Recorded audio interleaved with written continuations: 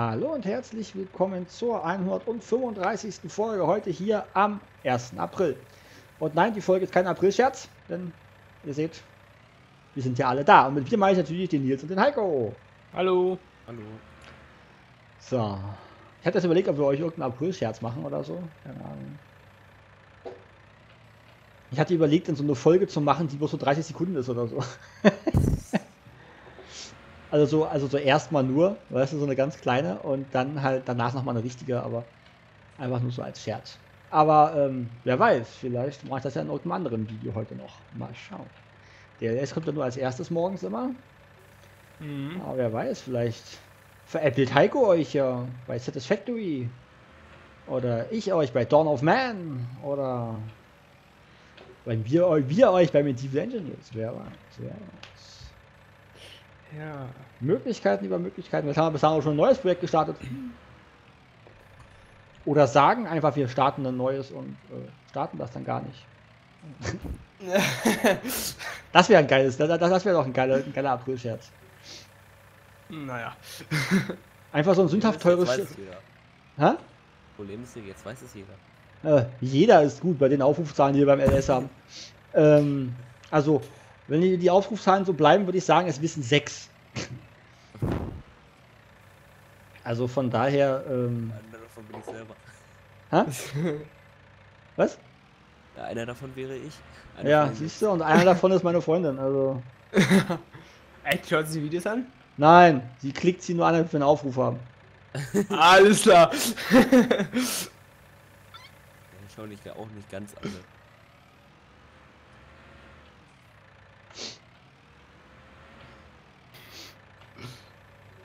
Das macht deine Freundin also. Ja. Warum nicht? Klicks. Ja, alles für die Klicks. Genau. Naja, alles. Eine Person da einen Aufruf macht. Also, ja, also. Ja, gut. Ja, komm, Ist ja jetzt nicht so, dass ich irgendwen dafür bezahlt. Das ist viel. Ja, gut. Ist jetzt nicht so, dass ich da irgendwie jemanden bezahlen würde für oder äh, keine Ahnung, hier äh, Klickzahlen kaufe in großer Menge. Hm. Nur aus Mitleid. Ja, das wird wahrscheinlich sein. Ähm, Sie guckt schon einen Haufen YouTube-Videos, aber, aber, aber, aber nicht von uns. okay.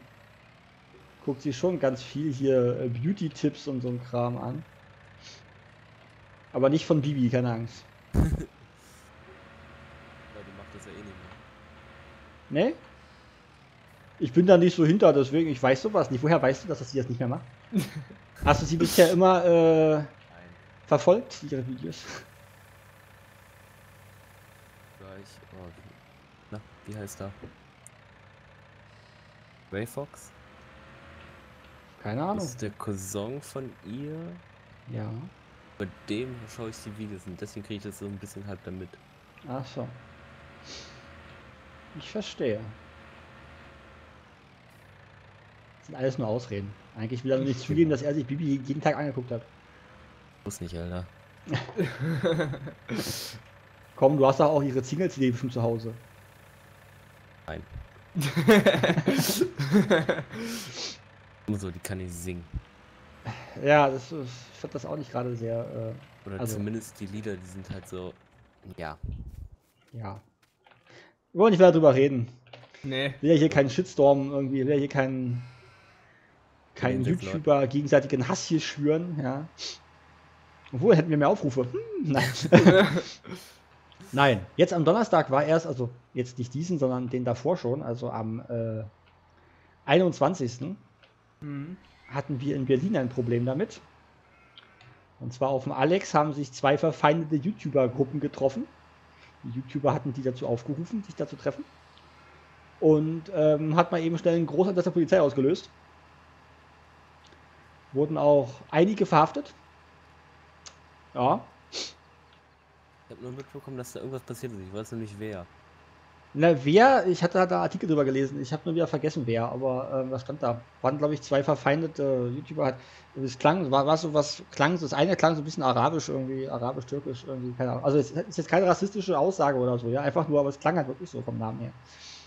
Was da stand. Ich kenne die aber nicht, also von daher ist mir auch relativ stuppe, muss ich ganz ehrlich sagen. Also wenn irgendwelche YouTuber irgendwo die Köpfe einschlagen müssen, äh, bitte, dann sollen sie das tun. Aber ich finde, die sollten sich am wenigstens selber gegen die Köpfe einschlagen und nicht ihre Fans das machen lassen. Weil ich finde, wenn die YouTuber selbst mit, untereinander ein Problem haben, dann sollten sie das unter sich klären. Und nicht ihre zigtausende Fans oder so damit reinziehen. So sehe ich das zumindest aber. Ja. Also wenn ich hier ein Problem mit einem anderen YouTuber hätte, würde ich euch nicht dazu aufrufen, hier irgendwo euch zu treffen und sagen, so jetzt. Ne? Ich meine, sie wollten ja nur reden. Ja, genau. Aber nur zum Reden muss ich nicht zigtausende Fans aufrufen, dahin zu kommen. Jeweils. Ja. Da war auch welche was los. Ich bin ja an dem Tag äh, Straßenbahn gefahren. Ich bin ja über den Alex gefahren an dem Tag. Hab das auch gesehen. Die ganzen Menschenmassen, die da waren, Polizei und so. Hm. Oh. Hat zwar jetzt nichts von der Schlägerei mitgekriegt, so direkt, aber Hm. Äh, du hast noch den Radlader, oder? ja, das liegt noch bei mir, ja. Darf ich ihn haben? Ja, kannst du dir nehmen, ich wollte jetzt eh aufhören Ja, darfst du. mit Silage. Ich muss mal ein bisschen was aufräumen. Aber der Preis ist noch weiter gestiegen, oder? Der Preis. Oh ja, 265 ist es jetzt für Silage. Oh. Weil ich merke nämlich gerade, dass der Preis steigt. Ich habe nämlich ein bisschen mehr bekommen jetzt nochmal. Ich habe jetzt schon wieder 38.000 auf dem Konto. Heiko. Zurückzahlen. Jetzt habe ich nur noch 405. Ich könnte also 300.000 jetzt aufnehmen als Kredit schon wieder, ne? Ja. Hätte dann 303.000 verfügbar, theoretisch. Das reicht aber nicht für die BGA. Oh. Selbst wenn ich die ganze Silage verkaufen würde, würde das nicht reichen für die BGA.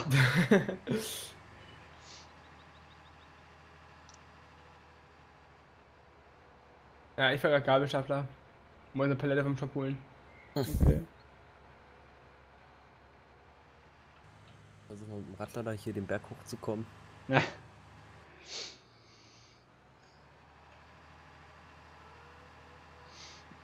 So, wir stellen jetzt erstmal wieder ab hier die ganze Technik.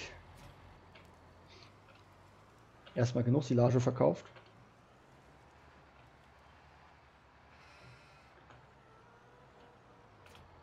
Könnte mich ja eigentlich auch ans Futtermischen machen wieder für die Kühe. Mhm. Könntest du auch. Wie viel Futter haben die denn noch? Aber da sind noch 55.500 drin. Das ist. Eigentlich brauche ich noch nicht wieder mischen.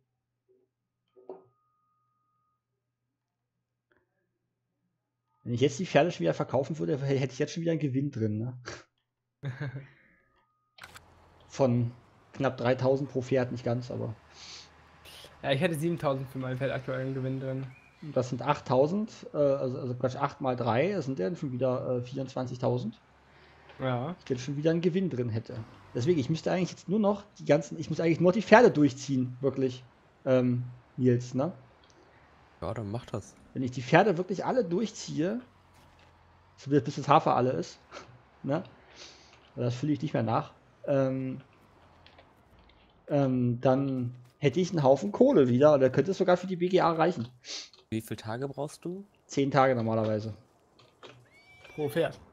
Pro Pferd, ja, aber es sind, wenn ich alle Pferde an jedem Tag bereite, dann sind es ja trotzdem zehn Tage. Ja. Sollte ich mit der Zeit auskommen. Meinst du, du schaffst es vorher, ja? Ja, ne, wenn ich mein Ding da fertig habe, verkaufe ich's. Naja, einfach dadurch, dass du halt schon äh, den Kredit halt nicht ausgereizt hast, das ist immer der Punkt. Genau, den Kredit ausreizen noch komplett. Sind schon mal 270.000 inzwischen.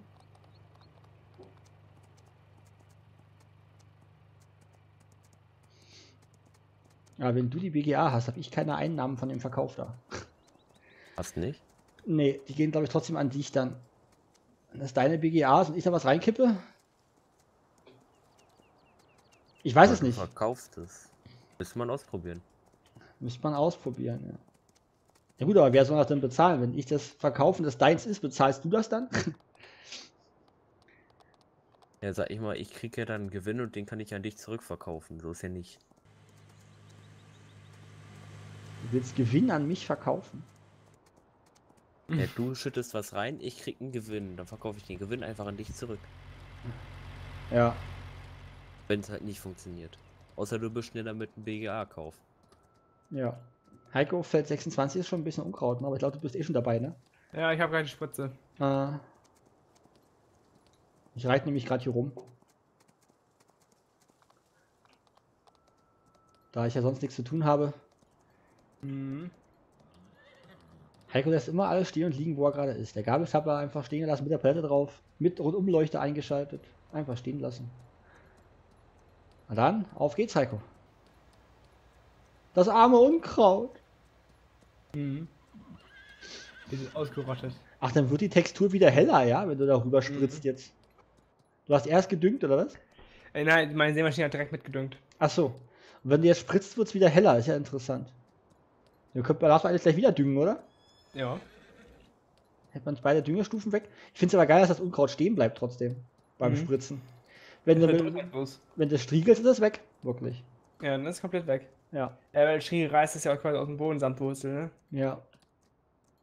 Allerdings die Frage, ich weiß nicht, ob man mehrmals striegeln muss, dann. Hm. Ja, das weiß ich auch nicht. Aber Im beim Spritzen weiß man ja einmalig. Einmalig, genau, und dann ist das für den Ernte, also für die Saat dann erledigt. Aber ich weiß nicht, ob man Ja. beim Ob ich das gerade hingekriegt habe.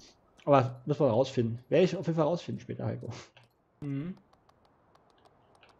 Weißt du, bist gerade auf dem Pferd, ne? Ja. Schade. Warum? Ja, dann müsstest mal zu mir kommen. Ist doch kein Problem. Ich kann auch zu dir reiten. Wenn du die Zeit hast dazu. Ja, Ich bin ja schon bei Heiko, so weit ist es ja nicht. Ach, du meinst da gerade zur Getreidemühle, wo du gerade stehst unten, oder? ja. Ich bin auf dem Weg. Ich reite querfeld ein. Ich komme. Ich weiß echt nicht, wie ich das gerade geschafft habe. Bin ich mal gespannt. Habe ich gleich ein Thumbnail für die Folge. Nein. Kannst du gerne machen. Du kannst mich nur daran hindern, indem du das vorher schon bereinigst. Ansonsten Mach ich nicht. ich glaub, das direktem krieg ich auch nicht hin, ohne zurücksetzen. Okay. Ich bin auf direktem Wege. Ich laufe gerade quer durch den Weizen, aber was ist hier ist durch?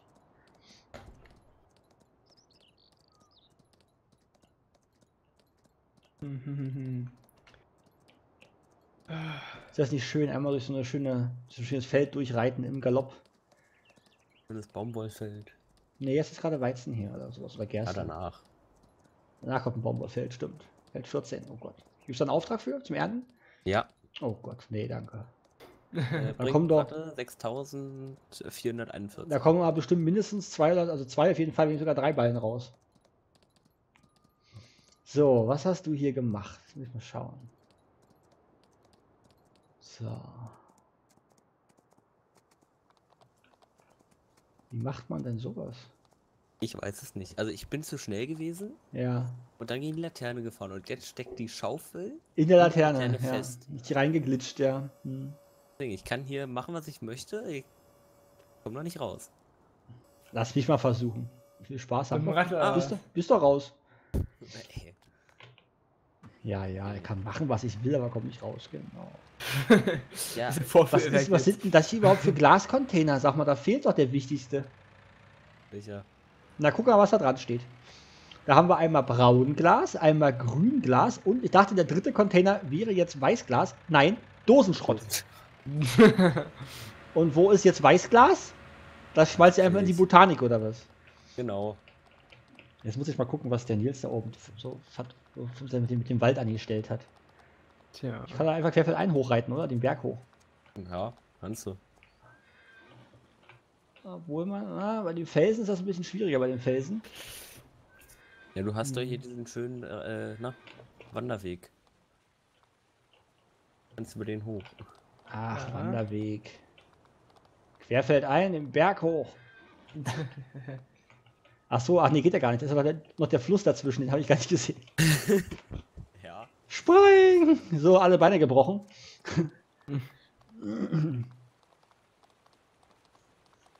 Ich glaube, locker mindestens wahrscheinlich 30, 40 Meter gesprungen bin aus der Höhe. Pferd. Das wäre jetzt Matsch unten. Mhm. Ja, ich glaube, es würde noch leben, aber es würde, ja, schmerzhaft. Ja, kurz vor nicht mehr leben, ja. Ja, alles schon weggeholzt in der Mitte hier. Musst nur die Stumpen auch noch wegmachen, ne? Ganz zum Schluss. Und dann würde ich, ganz ehrlich, weil der Boden ein bisschen unebener ist, mit dem Landschaft zu dem Boden, das müssen wir ein bisschen glätten, ein bisschen angleichen nur. Jetzt nicht platt machen, sondern einfach nur ein bisschen glätten. Und ja, neue Bäume drauf, wa? Nö. Nö, verkaufst einfach was? Kaufen, nächste Ding. Gibt's ja wohl nicht. Ist ja hier Ausschlachten der Natur, sag mal. Du meinst doch, es sollen alle Bäume von der Karte verschwinden. Ja, aber alle wirklich. Ich meine wirklich alle. Also auch die, die hier oben bei den Gleisen stehen und so. Ne? Also, ah, ich kümmere mich erstmal um die Hauptflächen. und vor allem auch die, die an den äh, an, an, an der Burg oben stehen und alle. Ne?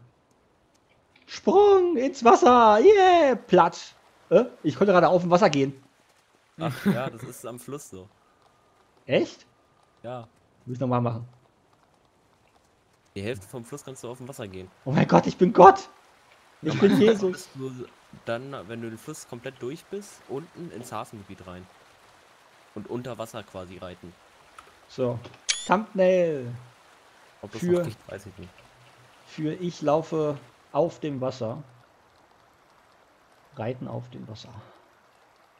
Yeah, Doch, ich reite jetzt hier 1. auf dem. April, oder? Ist doch schön was. Äh, passt doch zum 1. April, ja. Und das ist kein Aprilscherz, ich reite hier halt wirklich auf dem Wasser. Ja.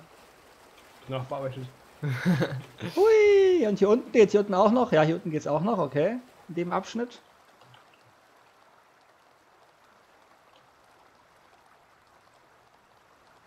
Ja, es hat ein weiter Weg im Fluss runter jetzt bis zum Hafen, ne? Hm. Na, ich dachte, ich kann jetzt auf dem Wege das Pferd ganz schnell auf die Koppel zurückbringen. Wenn ich einfach mal ins Wasser springe. Ja, äh, falsch gedacht. Ja, war natürlich zu einfach, war ja klar.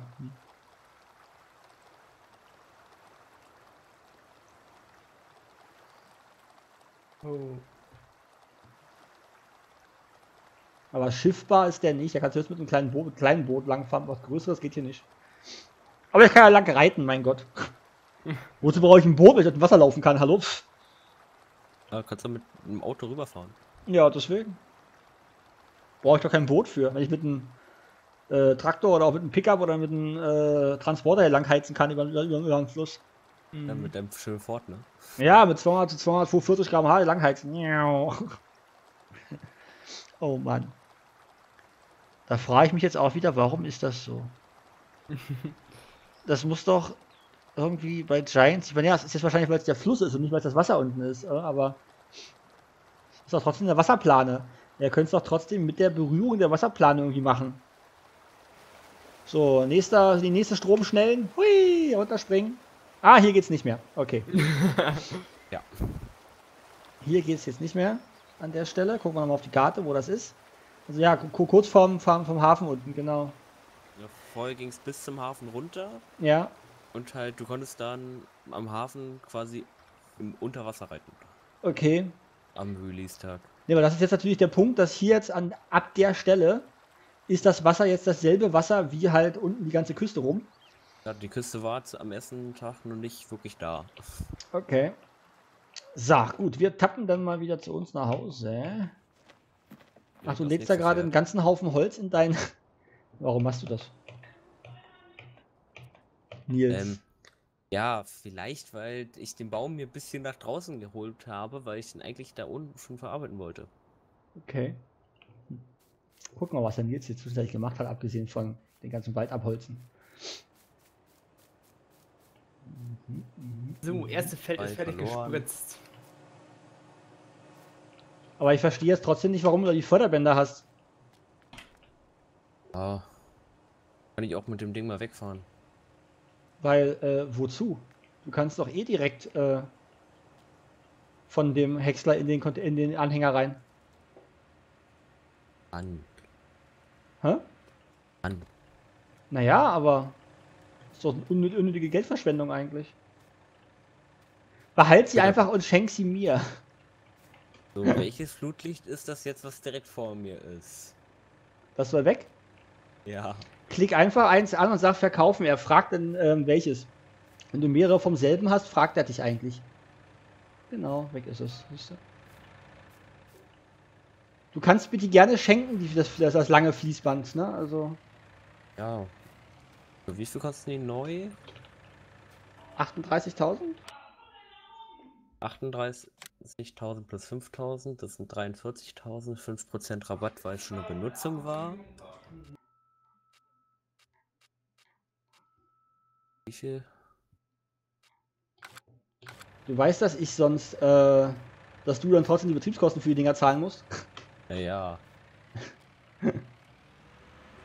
Aber ich kann sie mir auch selber kaufen, mein Gott. So viel Geld. Kauft die und schenkt, gibt dir dann das Geld, was ich dafür gekriegt habe.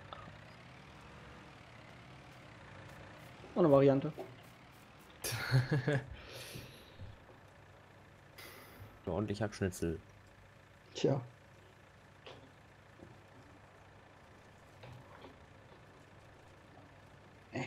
So, aber die Folge ist auch schon wieder lange zu Ende. Ich überziehe schon wieder und äh, deswegen sehen wir uns morgen zur nächsten Folge wieder. Schaltet wieder ein. Wir würden uns sehr freuen und verabschieden uns und sagen Ciao, tschüss und bis zum nächsten Mal. Tschö, tschö. Tschüss. Tschüss.